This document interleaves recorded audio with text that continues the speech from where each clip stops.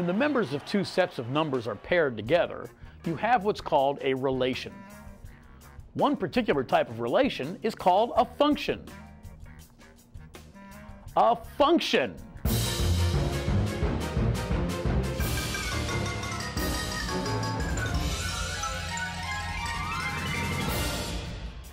A function is a relation in which each member of the domain is paired with exactly one member of the range.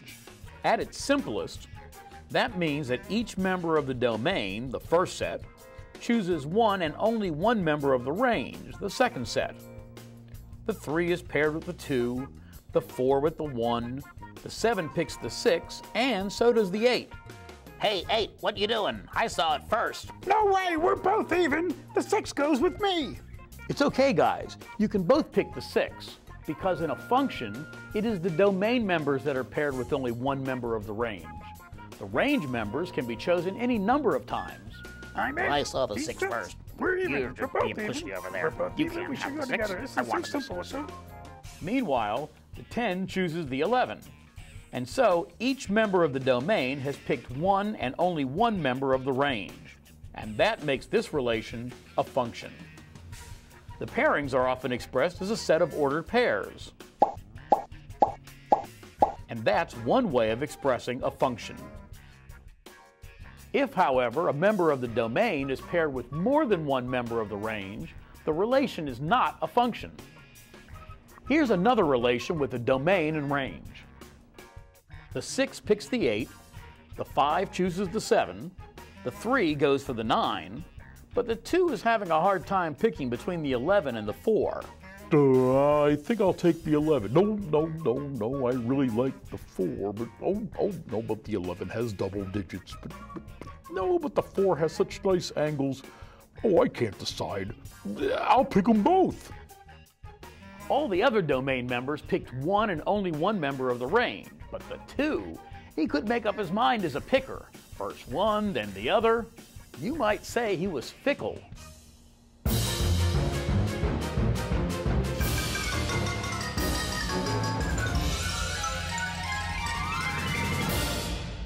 That would make him a fickle picker. Yes, a fickle picker. He chose more than one member of the range, and so this relation is not a function.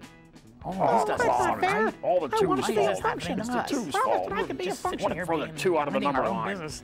I'm sorry. A function is a relation where each member of the domain is paired with exactly one member of the range.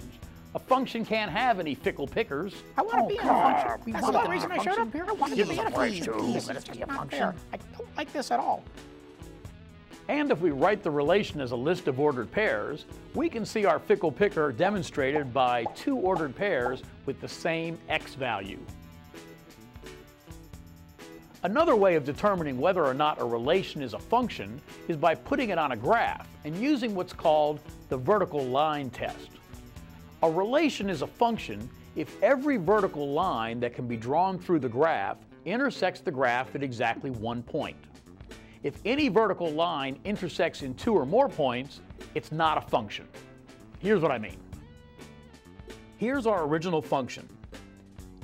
If we put this function on a graph and draw vertical lines through the points, we can see that no vertical line intersects the graph set more than once. It passes the vertical line test. It's a function. But if we take our second relation, the one with the fickle picker, and apply the vertical line test, we'll get a different result. You remember this disgruntled group of numbers. If we graph this set of ordered pairs and draw vertical lines, we see that one vertical line does indeed intersect two points, 211 and 24. So this graph fails the vertical line test. This is not a function. There are many types of functions that you'll graph in algebra and beyond. They all pass the vertical line test.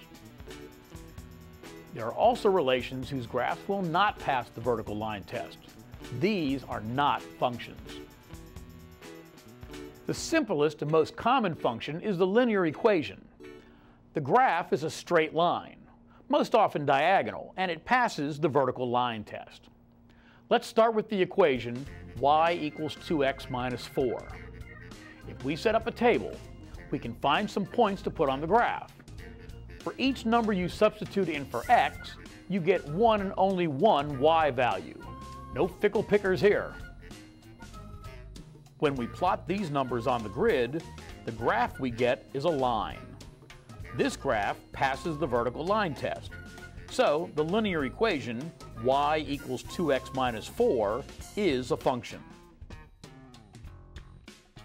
Most linear equations will give us a line that represents a function, so we can write them in a slightly different form called function notation. Instead of writing y equals 2x minus 4, we express it as f of x equals 2x minus 4. The x still represents the members of the domain, but now f of x represents the members of the range. So f of x equals 2x minus 4 is just another way of expressing the equation y equals 2x minus 4.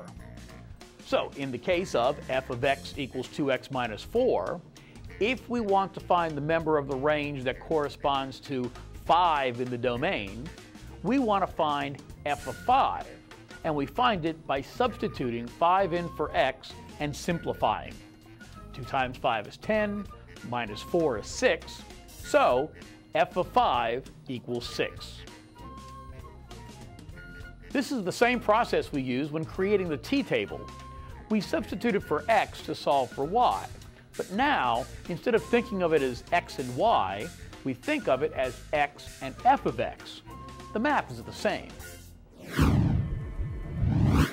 So a function is just a relationship where each member of the domain corresponds to exactly one member of the range, a relation with no fickle pickers.